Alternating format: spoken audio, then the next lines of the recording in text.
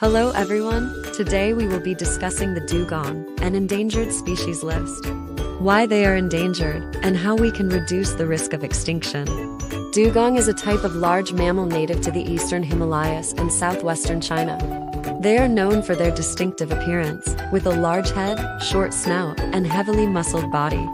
There are two species of dugongs, the Chinese dugong and the Indian dugong, each of which is critically endangered.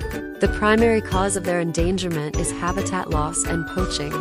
As the forests where they live are cleared for farming, logging, and construction, their natural habitat is shrinking. In addition, the dugongs are also targeted by poachers for their valuable fur, which is sought after in the Chinese and international markets.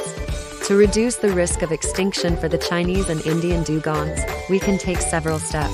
1 protect their habitats, we must work to preserve and expand their natural habitats by preventing deforestation, farming, and logging.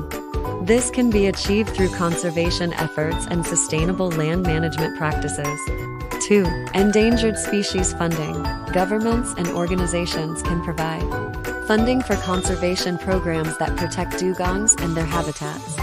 3. Public awareness educating the public about the importance of dugongs and the dangers of extinction can help raise awareness and support for conservation efforts.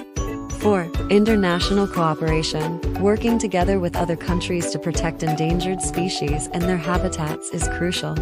In conclusion, the dugongs are critically endangered due to habitat loss and poaching.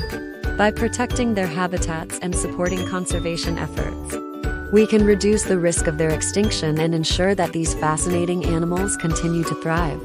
Please like and subscribe.